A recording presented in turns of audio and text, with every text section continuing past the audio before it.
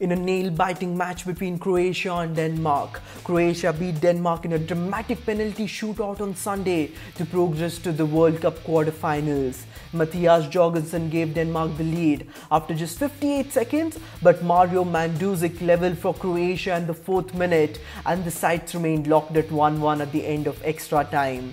But Croatia won the shootout 3-0 after Danijel Subasic saved three spot kicks. Croatia made 9 changes from the last World Cup Group D match for the knockout match against Denmark on Sunday, reverting to the team that impressively beat Argentina 3-0. Only captain Luka Modric and Ivan Perisic remained from the starting lineup against Iceland. The Croats' last group match, which was played after they had already secured qualification for the last 16. Well, there was a fantastic game between Croatia and Denmark. What's going to happen in the matches lined up tonight? Put down in the comment section below and like, share and subscribe Sportskeeda for more updates.